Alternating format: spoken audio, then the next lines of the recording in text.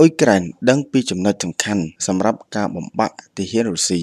ដោយសារតែរុស្ស៊ីមានគ្រឿងសព្វាវុធធុនធ្ងន់និងទំនើបទំនើបកំពុងតែវាយសង្គ្រប់យ៉ាងខ្លាំងដើម្បីក្រសោបយកតំបន់ដូនបាសស្ថិតនៅភាគខាងកើតប្រទេសអ៊ុយក្រែននោះមន្ត្រីជាន់ខ្ពស់របស់ទីក្រុងគៀវបានស្នើសុំយ៉ាងទទូចដល់បណ្ដាប្រទេសបច្ចិមលោកផ្គត់ផ្គង់អាវុធធុនធ្ងន់ឲ្យបានឆាប់កាន់តែច្រើនឡើងដើម្បីបណ្ដេញកម្លាំងទាហានរបស់ទីក្រុងមូស្គូចេញពីប្រទេសរបស់ខ្លួន។ បើតាមសារព័ត៌មានដែលការដិនបានចេញផ្សាយនៅថ្ងៃទី13ខែមិថុនាឆ្នាំ2022ថាទីក្រុងគីវបានអំពាវនាវដល់បណ្ដាប្រទេសលោកខាងលិចស្នើសុំការផ្គត់ផ្គង់ប្រព័ន្ធបាញ់រ៉ុកែតចំនួន300គ្រឿងរថក្រោះ300គ្រឿងនិងកំភ្លើងផ្លោង Howitzer ចំនួន1000គ្រឿងដល់ប្រទេសអ៊ុយក្រែនការស្នើសុំរបស់ក្រុងគីវបានកើតឡើងនៅពេលដែលកិច្ចប្រជុំថ្នាក់រដ្ឋមន្ត្រីក្រសួងការពារជាតិរបស់ NATO នាថ្ងៃទី15ខែមិថុនាចំពេលមានការព្រួយបារម្ភ ក្នុងរយៈពេលមួយត្រីមាសទៀតដែលអ៊ុយក្រែនកំពុងជំរុញនៅការទៀមទីរបស់ខ្លួនសម្រាប់អាវុធស្តង់ដាររបស់ NATO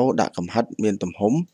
155មីលីម៉ែត្រសំណើគ្រឿងសព្វាវុធដ៏ច្រើនមហិមានេះត្រូវបានធ្វើឡើងជាសាធារណៈនៅលើបណ្ដាញសង្គម Twitter កាលពីថ្ងៃច័ន្ទដោយលោក Mykolai Polyak ទីប្រឹក្សាជាន់ខ្ពស់របស់ប្រធានាធិបតីអ៊ុយក្រែនទីប្រឹក្សារូបនេះបានលើកឡើងថាអ៊ុយក្រែន ត្រូវការភាពស្មើគ្នាលើគ្រឿងសព្វាវុធធុនធ្ងន់ដើម្បីបណ្ដេញរុស្ស៊ីចេញពីទឹកដីនិងឈានដល់ការបញ្ចប់សង្គ្រាមឈ្លានពាននេះទីប្រឹក្សាជាន់ខ្ពស់របស់អ៊ុយក្រែនក៏បានបញ្ជាក់ថាអ៊ុយក្រែនត្រូវការប្រព័ន្ធរ៉ុកែតវ៉ូង MLRS ចំនួន300គ្រឿងពលគឺច្រើនជាង7ដងឬច្រើនជាងនេះដែលបានបដិញ្ញាចិត្តដោយសហរដ្ឋអាមេរិកនិងចក្រភពអង់គ្លេសក្រៅពីនេះក៏នៅមានកំភ្លើងផ្លោង Howitzer តាមស្តង់ដាររបស់ NATO ទំហំ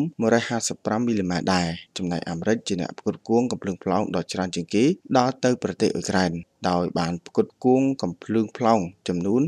109គ្រឿងកាលពីចុងខែឧសភា លោក Lloyd Austin រដ្ឋមន្ត្រីការពារជាតិសហរដ្ឋអាមេរិកនឹងធ្វើជាអធិបតីនៅក្នុងកិច្ចប្រជុំផ្ទាល់ថ្នាក់រដ្ឋមន្ត្រីក្រសួងការពារជាតិអង្គការ NATO នៅថ្ងៃពុធទី15ដើម្បីពិភាក្សាអំពីការផ្គត់ផ្គង់គ្រឿងសព្វាវុធដល់ប្រទេសអ៊ុយក្រែននេះជាកិច្ចប្រជុំលើកទី3ចាប់តាំងពីរុស្ស៊ីបានលើកទ័ពចូលលុកលុយនៅក្នុងប្រទេសអ៊ុយក្រែនកាលពីថ្ងៃទី24ខែកុម្ភៈឆ្នាំ2022 ចំណែកលោក Ben Wallace រដ្ឋមន្ត្រីការពារជាតិអង់គ្លេសក៏ចូលរួមនៅក្នុងកិច្ចប្រជុំថ្នាក់រដ្ឋមន្ត្រីក្រសួងការពារជាតិនេះដែរក្រៅពីនេះទីប្រឹក្សារបស់ប្រធានាធិបតីអ៊ុយក្រែនក៏បានស្នើសុំគ្រឿងសព្វាវុធផ្សេងៗរួមមានរថក្រោះចំនួន500គ្រឿងរថពាសដែក2000គ្រឿងនិងដ្រូនចំនួន100គ្រឿងនេះគឺជាចំនួនយុទ្ធោពករណ៍ធុនធ្ងន់សម្រាប់ធ្វើឲ្យមានតុល្យភាពយោធារវាងកម្លាំងទាហានរុស្ស៊ីនិងអ៊ុយក្រែនចំពោះអត្ថបទព័ត៌មាននេះសូមបញ្ចប់តែប៉ុណ្ណេះជួបគ្នានៅវីដេអូក្រោយៗទៀតសូមអរគុណ សូមគោរពលា